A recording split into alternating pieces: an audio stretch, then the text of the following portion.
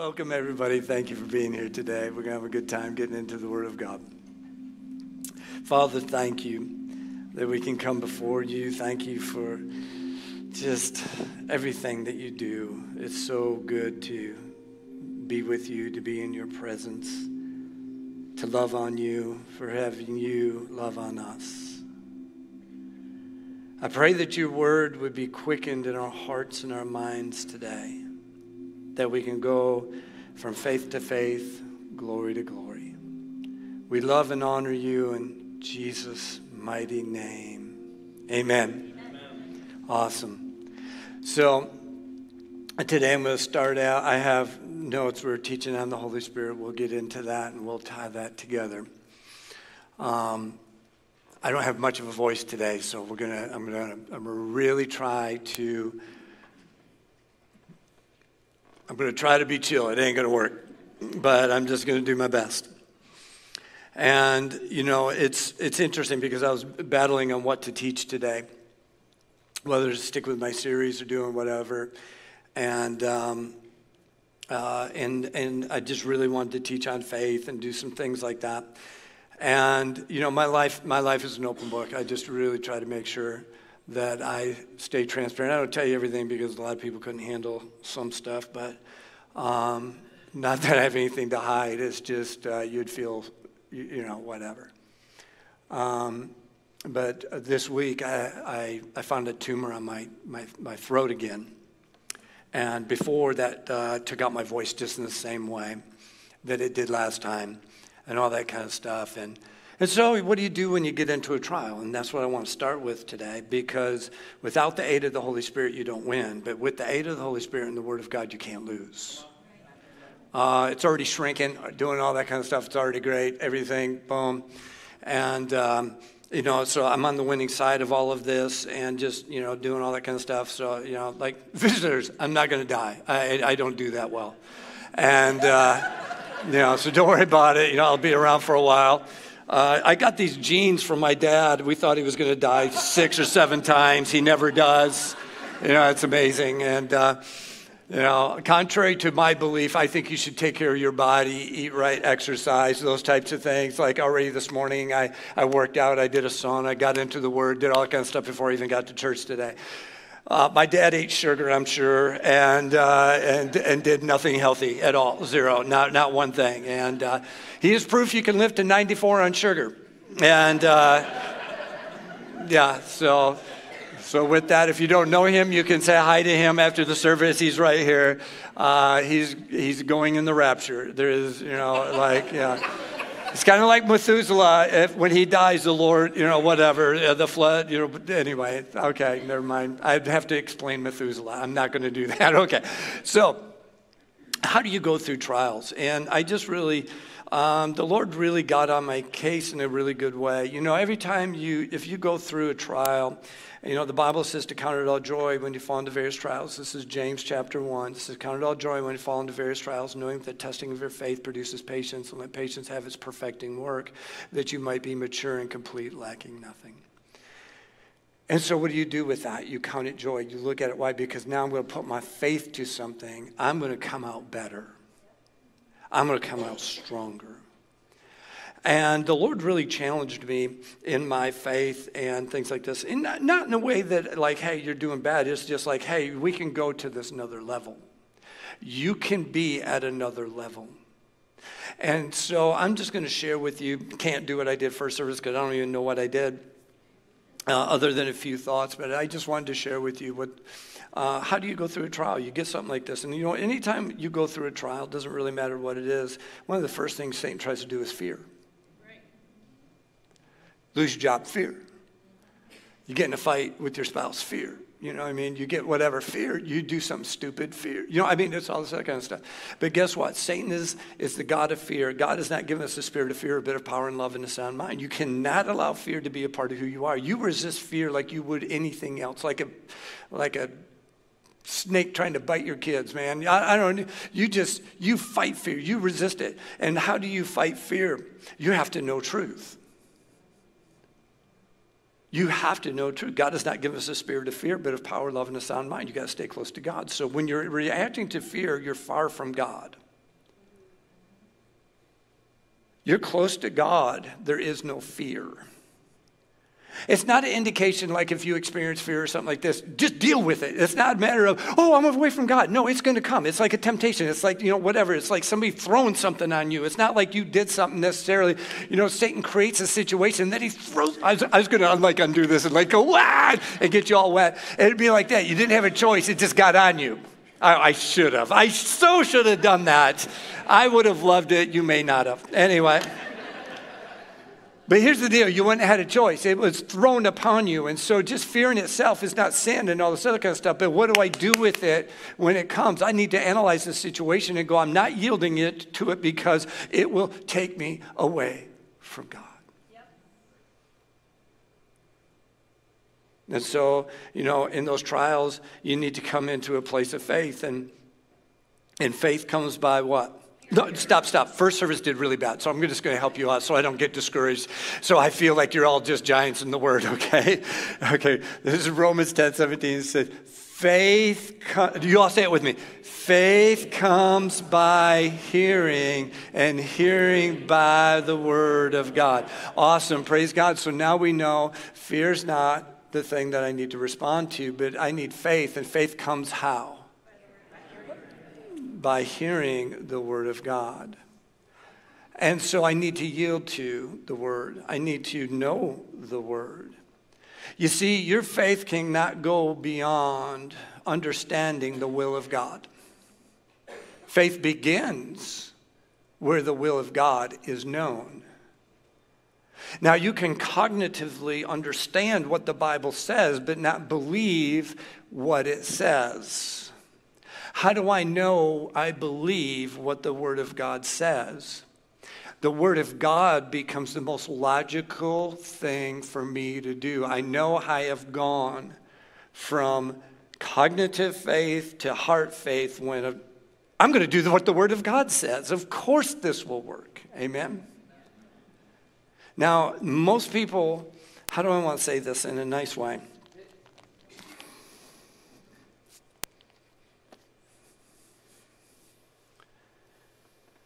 I think very few people on earth throughout history, maybe 1%, have actually walked in a faith that was pure. Like strong, like crazy. Now, people have done great things without having what I'm talking about. Jesus is the first example, perfect faith. There's a few people through history that have gotten close to that kind of faith, but very, very, very few. But what is the potential for every single one of us?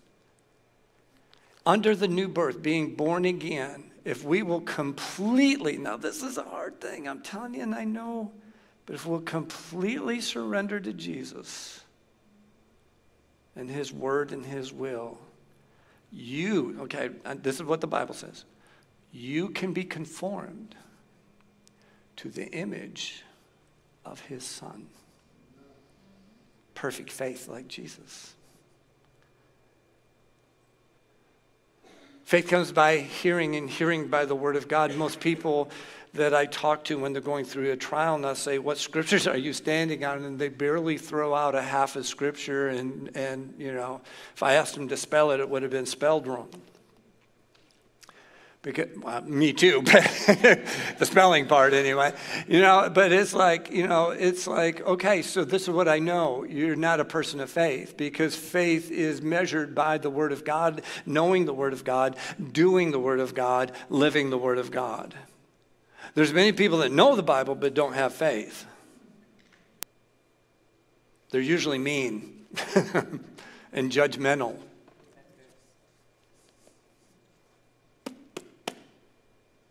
There's, there's people I know that have done great things in the Lord and stuff like this. They don't know a lot of the Bible. In fact, they, they know some of it, and they know some of it so well that they have accomplished great things in life.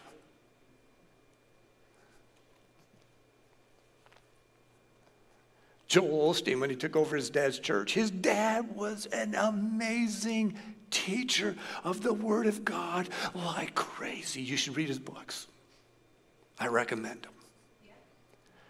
Joel can't spell Ephesians, let alone find it. You know what I mean? And and and the Lord asked him to take over the church, and look what happened. And he this is his own testimony. He says, I learned as I went. I'm all of a sudden given this gigantic church. I just wanted to be on TV. I just wanted to run the sound and the lights and the do all these things. And now I'm a pastor. And because of the anointing of God and because of the faith that he had in the few things that he lived and all this other kind of stuff, he was able to give what he had with faith and look at the amount of people that he's touched. I saw him in an auditorium. I shouldn't say these things out loud, especially on whatever, but anyway. I would have used just different scriptures than he used. Let me just put it that way. And I saw hundreds and hundreds and hundreds of people got born again. And I said, I might know the word better than him, but I couldn't have done what he just did. And I wouldn't have got that response. Who am I to judge him? He got more people born again in this one service than I have in the last five years.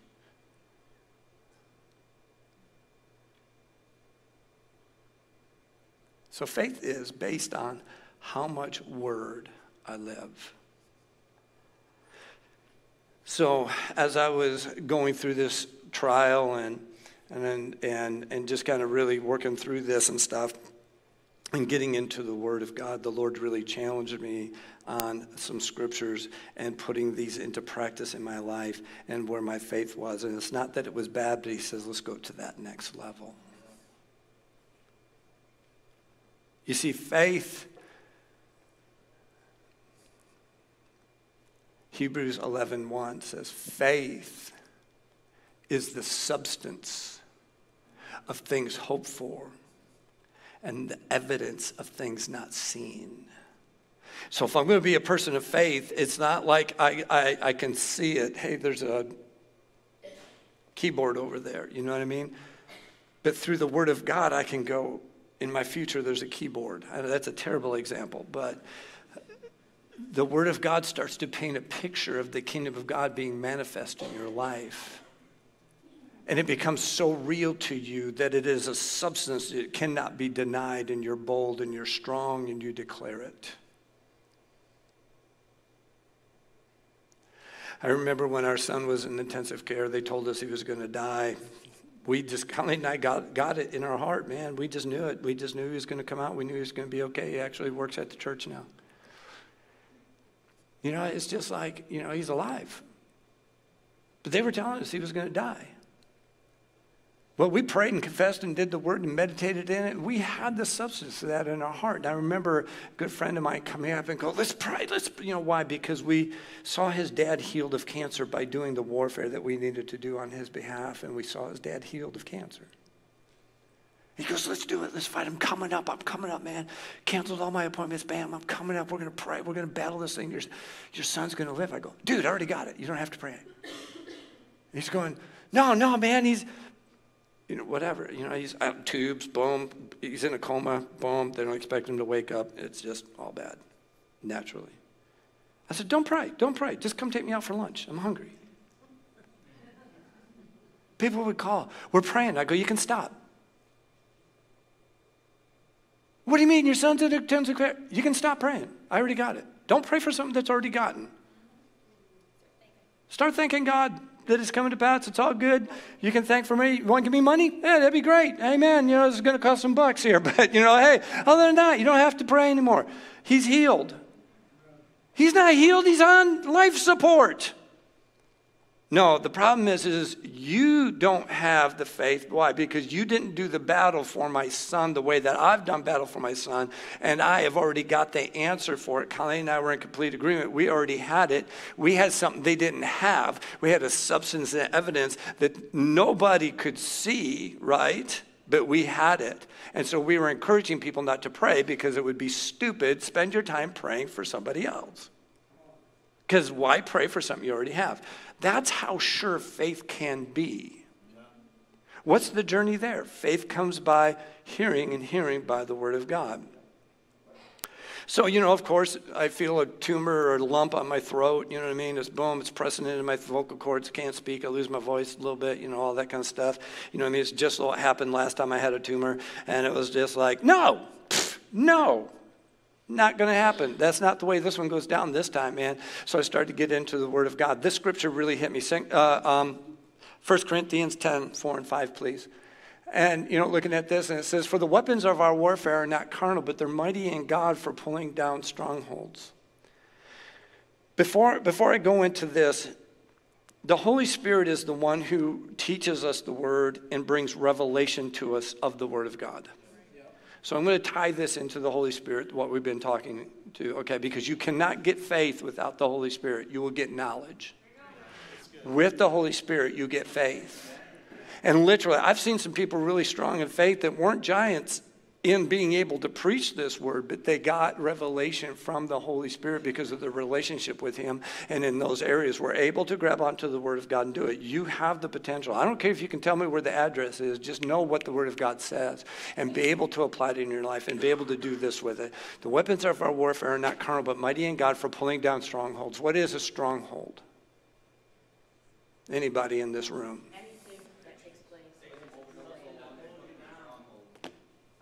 Yeah, and what was that?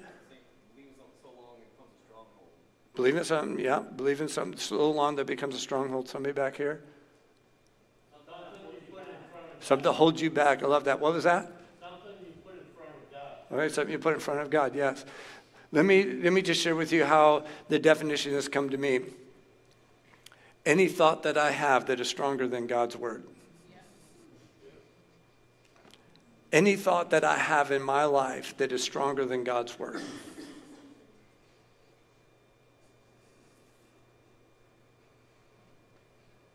Can I share with you? There can be a lot of those. A lot. Our world gets us so busy and gets us so tangled up and so out of this word. Come on, somebody. What's happening in the government? What's happening in the world? And boom, God, trust me, I believe that we're in the end times. I really do. I think there's a great awakening that's coming, the fifth one in the United States of America, which is going to touch the world. I believe that. I think we're going to be a part of it. That's just my personal conviction and belief. I also believe that we're in the end times. Prophetic things are coming to pass so fast, it's unbelievable. I think we got the honor of being a part of that group. And I understand that every generation thought that they were in a time when the Lord was going to come back. So if we're deceived, let's just not let them down and let's be one of that group too. Jesus is coming back.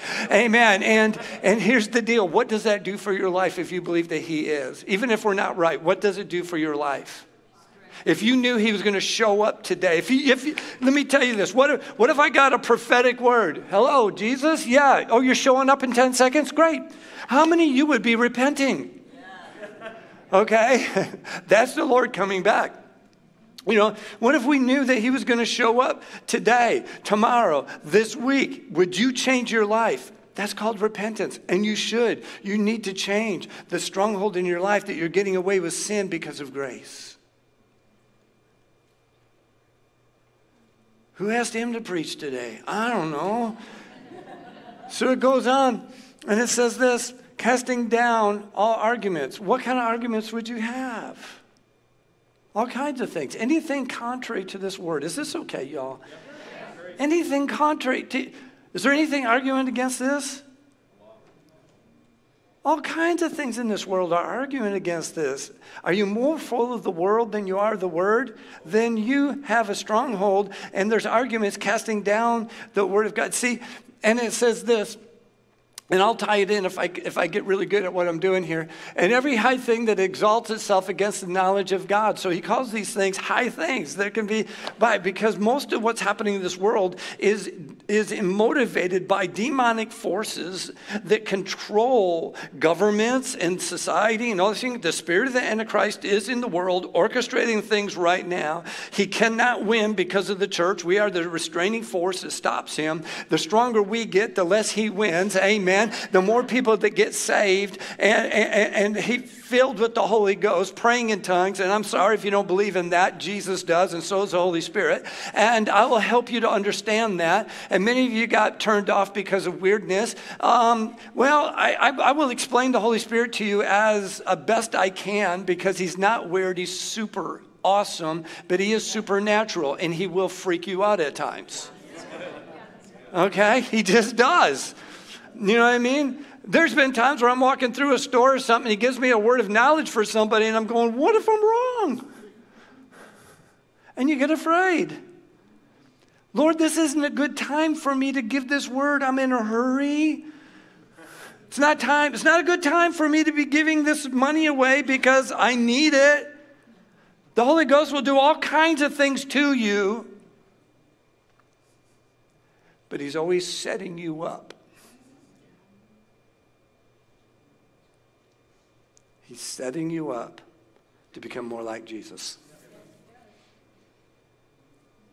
So don't look at any of it as, man, I did something wrong. You know, this whole thing happened to me. Big deal. Devil's trying to kill me. Doesn't matter. I win. A long life, I'm satisfied. I got a destiny. And the whole thing that happened here brought me to another level of excitement and dedication and fired up for Jesus. So, okay, the last time it happened, I was excited to get out of here. So that's the difference between these two. I was going, nobody, nobody blames you if you died of cancer. Oh, I fought a good fight. He was a good man. Boom. And then you all would have forgot about me. That's what happens when people die. You're like, you're like, gone. All right, no more. I was looking forward to getting with Jesus. Then I touched the Wailing Wall in Jerusalem, and the Lord says, uh, if you don't change your confession, you're going to die. You'll come be with me. We'll have a good time, but I won't be pleased. I'm not done with you. I was like, oh, now I got to fight.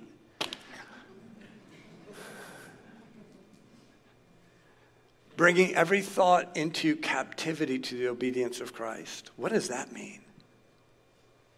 We're just talking about the life of faith. This is the life of a regular believer. This is our life. This is the way we should live, folks bringing every thought into captivity to the obedience of Christ. What would that look like? What would it look like having no thought that didn't glorify Him? Huh? Can that even, can we even do that? He wouldn't asked us to if we couldn't.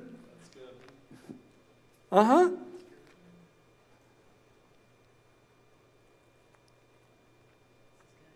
Yeah problem is, is American Christians are really weak. I've known Christians all, all over the world, in many, many countries. I haven't been, obviously, I haven't been all over the world, but I've been around the stupid thing. Knowing Christians all over the place. The strongest Christians, uh, for me, the strongest Christians that I've ever met are the ones that have the least. Man, we got Social Security. How does that happen?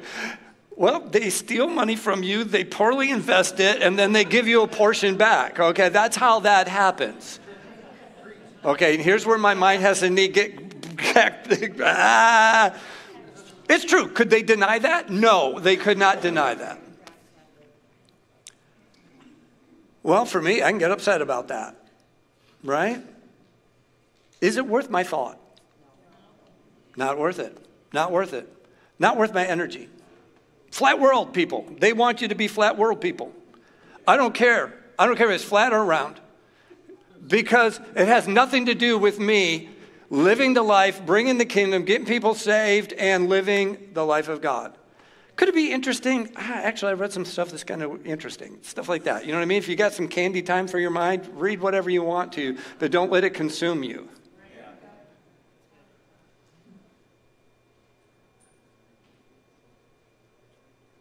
Politics, man, this whole election thing, half the world thought one thing and the other one thought the other thing. Half are happy and half are mad and half are like this and boom, boom. What do you know? They didn't take every thought captive to the obedience of Christ because we don't live for this world anymore. The, the, world, the world I live in, the kingdom I'm from, doesn't shake, doesn't move. Might be flat, might be round. Don't care. I'm just going to enjoy being there.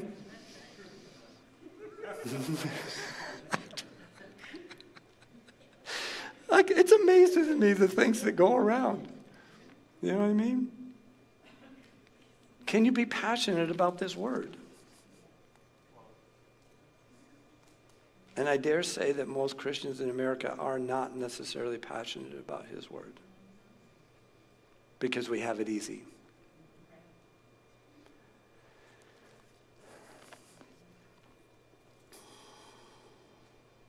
Holy Spirit, where do I go from here?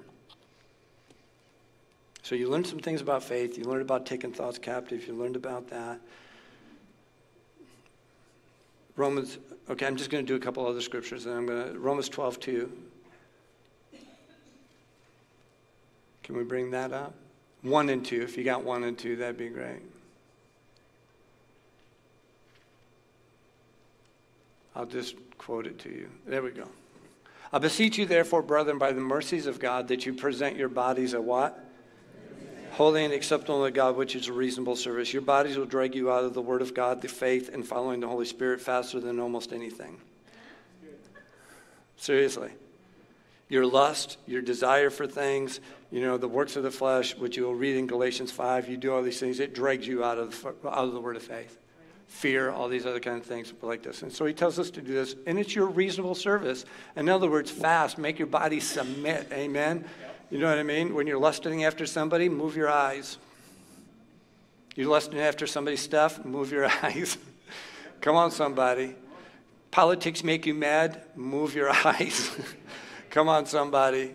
Probably shouldn't be involved in politics if it does. Okay, go on. And do not be conformed to this world, but be transformed by the renewing of your mind, that you might prove what is the good and acceptable and perfect will of God. How do I know the perfect will of God? And how do I become transformed, which means to be made into a whole new image? It comes to my mind. The Word of God says, Receive with meekness the implanted word which is able to save your souls. I don't know where it's at, but it's in the Bible. It's in there somewhere. And for some reason, I can't think of the address right now, but that's okay. So when my mind gets into place where it's believing and acting on the word of God, everything in my life will change. Do you realize you cannot think poverty and think word? Who meets all your need according to his riches and glory by Christ Jesus? Wait a minute, I got to take that out of there if I'm going to fear about supply. Oh, wait a minute, what about, you know, kind of where Matthew 6, where the Lord, you know, kind of even talking about his Lord's Prayer and all this other kind of stuff, and, you, you know, and he says, don't seek after these things, but seek first the kingdom of God and his righteousness, and all these things will be added to you. So now for my increase, I have to seek God first and all the things will be added to me. The wisdom of how to find how to invest blah, blah, blah, all these things. Why? Because god says he'll bless the works of your hands and he takes pleasure in the prosperity of his saints. And so if i take my thoughts captive to that with long life i'm satisfied. Doesn't matter what comes around. Doesn't matter if the, the biggest plague in the world china releases 2.0 of covid you know what i mean? And, and whatever. It doesn't really matter what it is. If i can trust and believe that with long life i'm satisfied i'm going to press through and win the battle do I ever lose battles? People, gosh, folks, we're going to. There's going to be battles we lose. It just happens. Just fight to win. It just depends on where you're at. Maybe the battle is bigger than your faith. But when do you build your faith? Unfortunately, people try to learn to swim when the boat's sinking. yeah, yeah. Nowadays it's Google. How do I swim? You know what I mean? Okay. Water's coming up to here. Oh, yeah, bad, yeah. Learn to fight cancer before you get cancer. Learn to fight blah, blah, blah, blah. Learn to prosper. How do you do that? You just start living the Word of God just step by step by step. And as you're on that journey, God's grace and mercy will cover you on the things that you don't have yet. But what is my goal? To obey the Word of God, take every thought captive to obedience of Christ, look like Jesus.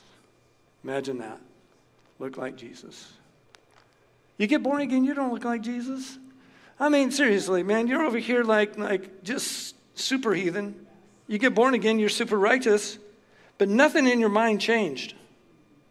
There's a whole lot of walking out to do yet.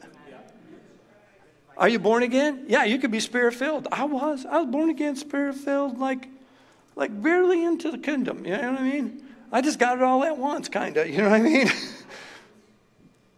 We're at the store one day. We're driving into Meijer's. I mean, this is how crazy stupid my flesh was. I was righteous, born again, spirit filled. Coming into Meijer, we're going to go shopping, get some groceries or something. I'm, I'm literally turning into my spot, and this guy cuts in front of me and takes my parking spot. Mm, mm, mm. Okay, over here, I didn't care if I stabbed you or beat you or whatever. It did not matter so much, okay? There was Dangerville. I'm here. So I slam my truck door and I'm going, and I got my plan. I'm going to get to his door before he can really get out, dot him, boom, take him, take his keys, throw him, shove him back in the car. I'm done. Okay, piece of cake. As I'm going towards his door, Colleen knows I'm a man on a mission. Mm, I hear, not distinguishable at all. It's Charlie's Brown teacher. It's just like,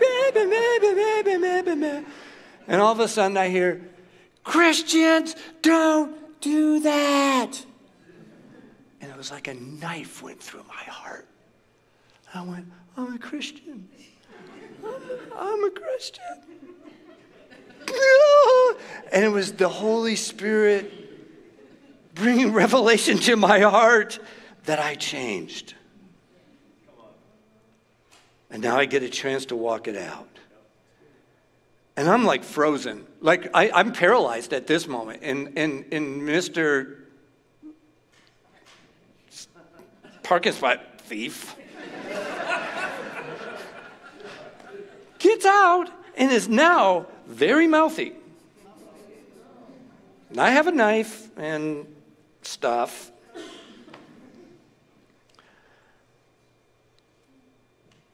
And I'm turning around and I'm shaking, and I'm sure he thinks I'm afraid. I am literally shaking because the Holy Ghost has just arrested me, and I'm like so convicted that I am the worst sinner in the whole world, you know what I mean? And, and I get back in my truck and I go, How about if you shop without me? I'm to go park. And I went and I just started praying the Spirit, and I just said, Lord, forgive me. I don't know how out of control a person can be that he wants to beat somebody up for a parking spot. And I'm just repenting and I'm just asking the Lord to minister to me. And he starts ministering to me in just really supernatural ways. And it was so cool. So cool. I mean, you know, I probably wasn't going to raise anybody from the dead back here. But in my life today, I've literally seen three dead people live. I have seen cancers go away. I have seen crippled people healed. And I have seen many, many miraculous things of God. Now, okay, I've been doing this for 40 years. I've seen a few of these things. It's not like I walk around like, you know, butterflies and miracles happen everywhere I go, and it's just like, here you go. You know I mean? Things like that. But I have seen those things because I understand the Word and faith, and I understand how to cooperate with the Holy Spirit in the Word and faith when it arises. I've seen the gifts of the Spirit in operation and prophecies and different things like this. You will see more of that happening in, in, in, a bit. There'll be a lot more of that coming out of my life. You'll, you'll see that for sure, and other people in this room. So here's the deal when something attacks your life, the first response is probably going to be fear. Learn to ignore that, learn to resist that because it's not God. Satan's trying to draw you away from God. Turn to the Word of God, which will then give you confidence and faith. Draw closer to the Lord. Faith comes by hearing, and hearing by the Word of God. Get into the Word, but now here's the deal you need the Holy Spirit to hear the Word, He needs to bring revelation to you for you to have faith.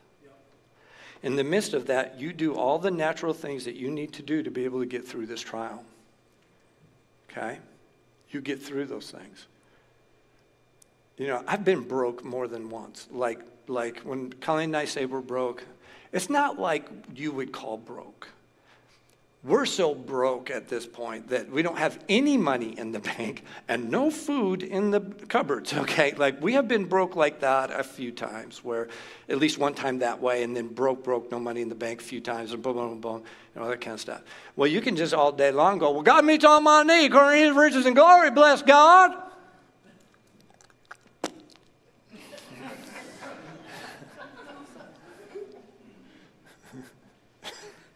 Tired. I'm sorry.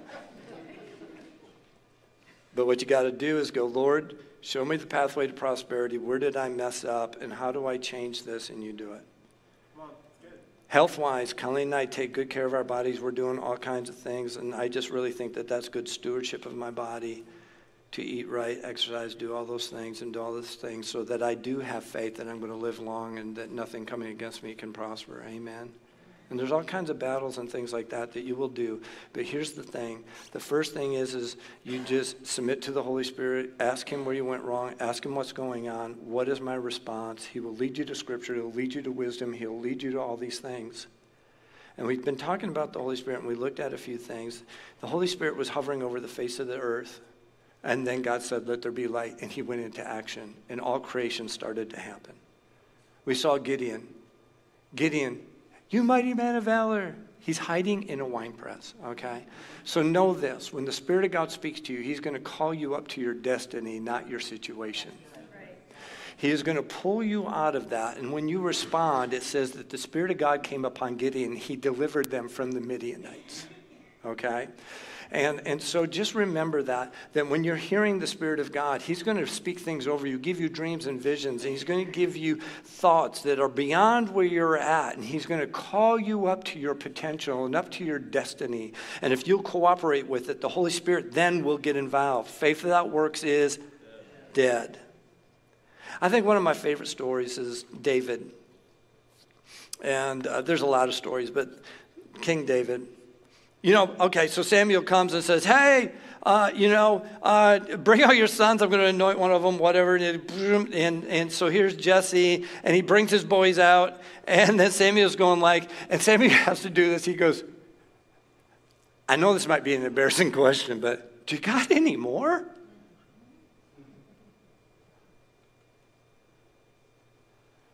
Oh, there's David, you know, but he's out there taking care of the sheep, right? David comes in, what Samuel do? Anoints him. So not David's anointed. You know what David does? Anointed as he is, he goes back and takes care of sheep. A lot to learn from this story. So now, anointed David, really anointed to be king, is taking care of sheep. And that anointing, when a bear comes to take one of his sheep, the anointing rises up and he goes, No, no, no. These are my sheep. I'm responsible for these sheep, and you're not taking that sheep. And he kills the bear. Lion comes. What does he do? Anointing comes in, rises up, he goes, No! And he just moves with that and kills a lion. Now, fast forward some time, here's Goliath defying the armies of Israel and taunting them and all this other kind of stuff, right? Guess where David's at? Sheep watching. Faithful to what God called him to do until God gave him another assignment, even though he was anointed. Most people mess up after God anoints them because they think that now they got to go out and do something different than what they were doing. A lot of times people can't be faithful where they're at before God can take them to where they're going to go. And so now, under that anointing, he got prepared to meet his destiny.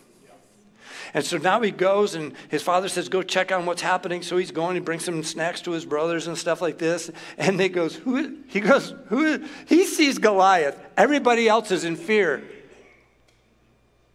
What is fear? When I yield to fear, I'm separating myself from God. Here's anointed David, and he's coming in and going, Who is, he's not even afraid. He's going, Who is this uncircumcised Philistine defying the armies of the living God? You know what his next question is? What do you get if you kill him? The anointing will make you smart, too. what do I get if I kill him? I ain't doing this for free. Y'all cowards? What am I going to get if I do? He goes to another person, goes to the next brother, goes to the next person that's hiding in fear and goes, What does a person get? Because what he just told me can't be true. Tells him the same thing. He goes, Wow, he goes to another person. Those two guys are crazy. What happens to the guy that kills him? Boom, gets the same thing. So now David's in front of King Saul. You know what he says? I've taken care of my, my father's sheep. And a bear came, and the Lord delivered him into my hands. And a lion came, the Lord delivered him into my hands. He goes, This uncircumcised Philistine will be just like one of them. That's right. Who's David relying on? God, and he's relying on the anointing. That made him be courageous when other people were afraid.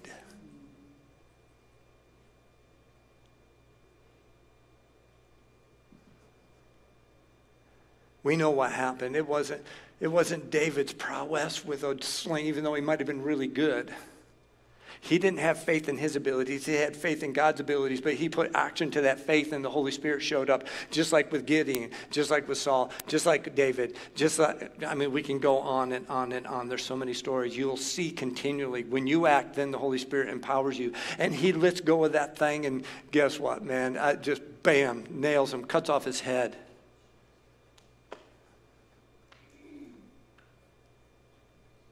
Now I want you to ask this. Are you taking the Holy Spirit and the anointing that God has given you? Because every single person in this room is more anointed than David. It's good. Why? You have the Holy Spirit living inside of you. The Holy Spirit only came upon him. That's why he messed up so much. He couldn't get born again. He, he, there was things that he could not overcome in his life because why? He wasn't born again. You and I get to get born again. That means we have the nature, the righteousness of God inside of us. We're sealed with the Holy Spirit of promise. The Holy Spirit comes and makes his place inside of us. In fact, so much so, Jesus said things like this The things that I do, you will do also. Whatever you ask the Father in my name, I will do it. If you abide in me and my words abide in you, you can ask what you will, it shall be done. Mark 11, 23, 24. Whoever should say unto this mountain, be removed and cast the sea, will not doubt in his heart, but believe the things what he says will be done unto him. He says, Therefore, whenever you stand praying, believe that you receive it and you you will have it. These are some of the promises God says you lay hands on the sick and what they will they do? They will recover. How much of that do you need to take captive to think like Jesus? And you might be back here like me, just barely born again. I knew nothing, but I just start grabbing onto the Word of God, putting it into my life. Grabbing the Word of God, putting it into my life. Grabbing the Word of God and putting it into my life. Amen. And so when I saw my friend laying in the road with a broken neck, not breathing, I went, Lord Jesus, you said lay hands on the sick and they will recover. So here it goes. And I laid hands on him and I called it forth and I did, you know, whatever. And then it was like, I can't look at this anymore. So I went off praying in tongues and just worshiping God. And by the time I got back, he didn't have a broken neck anymore. He was talking and he was, you know, he was alive.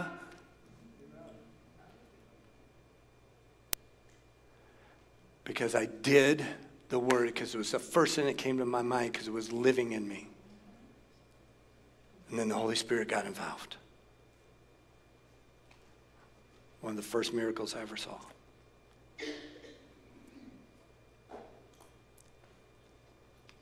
Help, honey. I don't know what to do. You know what? You're looking at your watch, so we're bored now. So let's. We're done. Can I just encourage? You can encourage.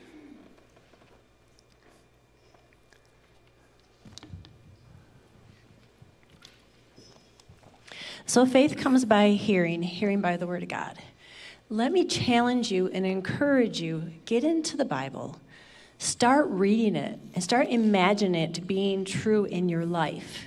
Because when those trials come, it's the word that is going to give you the strength to overcome.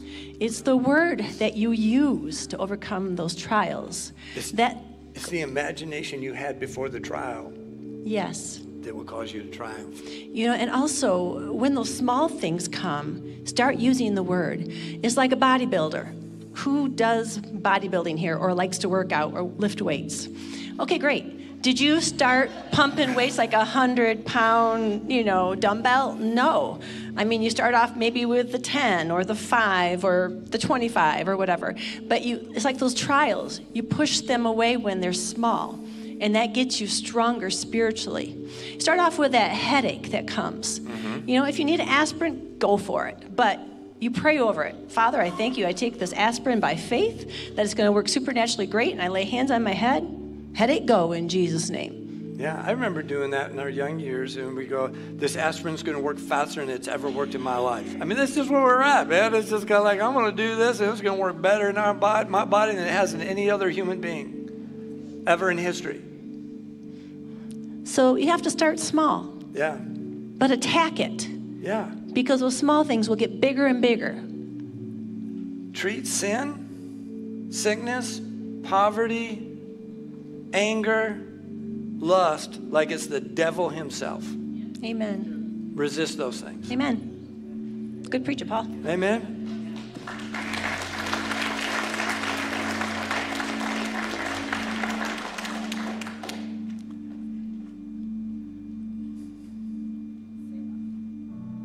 It all starts with being born again.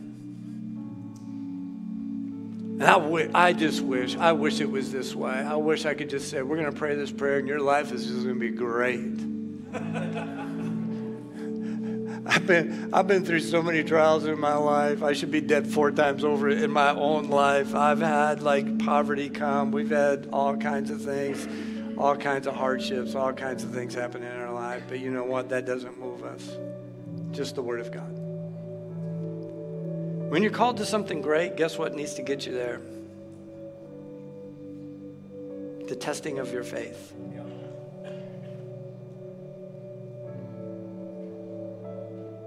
To do something great. Getting born again is this I yield my life and surrender it to Jesus Christ as Lord.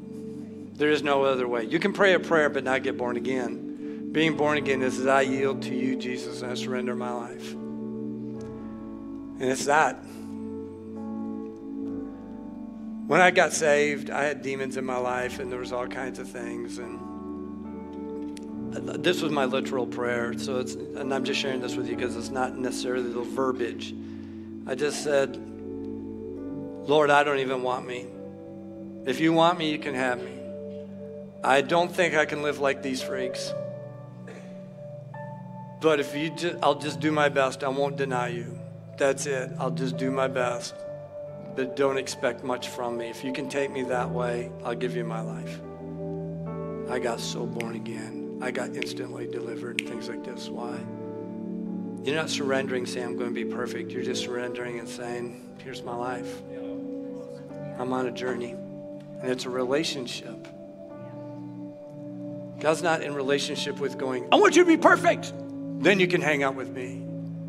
He's going, you are such a mess. You better hang out with me. Come on. Let's all, come on. Come on. Come on. Come on. I can help you with this. Amen. You know, it's more like that.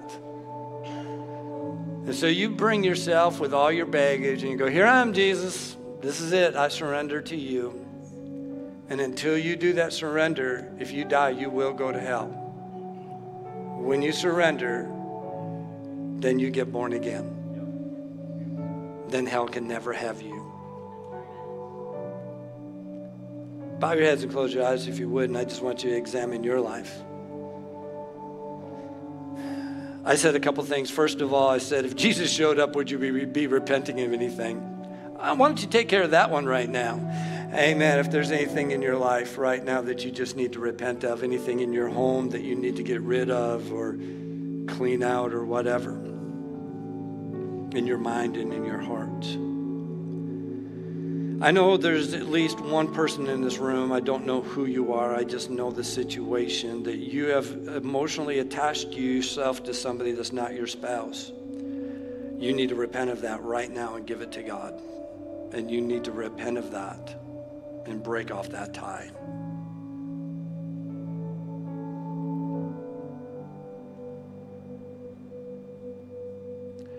There's somebody in this room saying, I'm not sure the Holy Spirit was speaking in tongues is for today. The Lord says, Today I will fill you and you will know for sure, even with your doubts. If you want.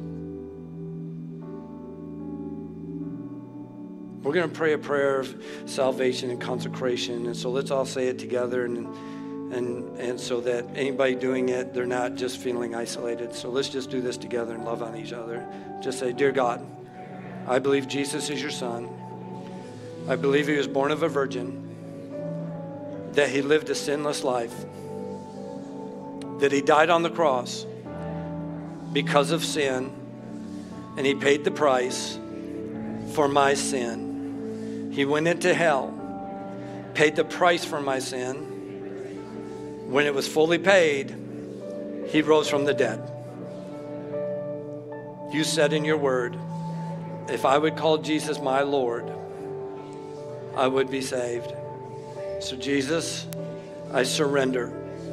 Here I am, all my good, all my bad. I'm here to be with you. I choose you, and I choose your kingdom. Thank you for receiving me. Help me to walk this out. Fill me with your spirit so I'd have the power to live this life. Thank you for receiving me. Thank you for forgiving me. With your heads bowed and your eyes closed right now, if you prayed that for the first time in this room, several people did in last service, would you just raise your hand right now for me, please, and just say, That's me? Yep, see your hand. Anybody else? Yep, see your hand. Good man. Good decision. Anybody else?